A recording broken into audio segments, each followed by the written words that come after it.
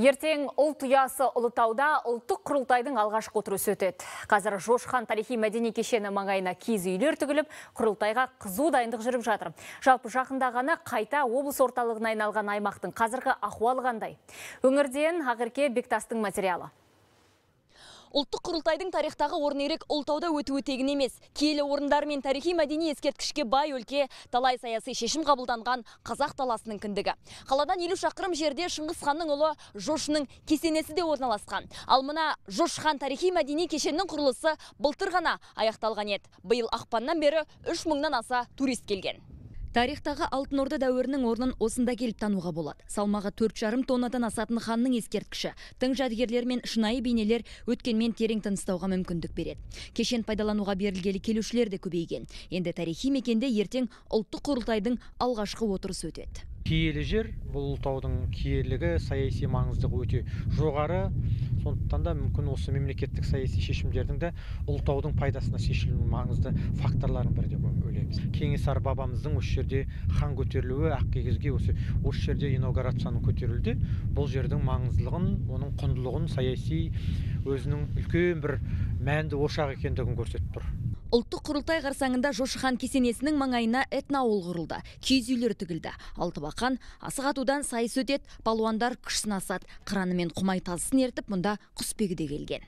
Бұл жерде тарих пен мәдениетті байланыстырып және далалық туризмді дамытудың өзіміздің құндылықтың көрсетілу ең бірден бір бөлігі болып табылады. Жаңа демократиялық қалыптасуда қазақ даласында қазақ тарихында көшпелі өркениеттен басталатындығының негізі. Иә әрбір азамат саяси өзгеріс пен экономикалық өсімнің жемісін көруі қажет.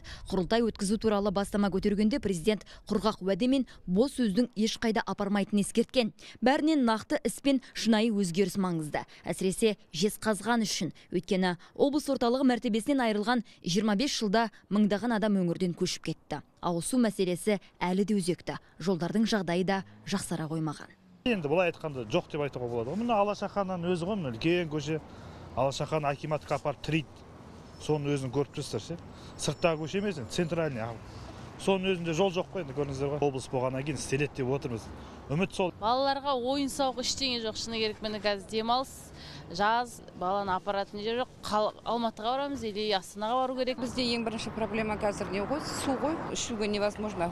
Былтыр өңірге сапарында президент ауызсу мәселесін бір жарым жылда шешуді тапсырған еді. Жезқазғанда жезді су қоймасын қалпына келтіріп кеңгір су қоймасын тазарту қажет. Қазір 16 миллиардқа жуық қаражат керек. Осы айдос ютас деген бізде жерасты су бар. Соны қалаға тартуға. Енді соны қазір осы биыл міне жақында ғана бітті. Соны биылдан бастап үкіметтен қаражат сұраймыз. Сол кезде ол бәрібір бір жылда соғылып қоймас. Осы жиырма үш жиырма төртінші жылдары сол сапалы ауыз су қамтамасыз етеміз деп енді жаңадан құрылған облыс орталығына ерекше мән берілмек. Экономикасы өндіріске байланған өңірде алдымен ең негізгі проблемаларды шешу көзделіп отыр. Ақерке бектас жаслан жақсай мұхит рамазанов президент телерадио кешенінің көмегімен ұлттық арна ұлытау облысы.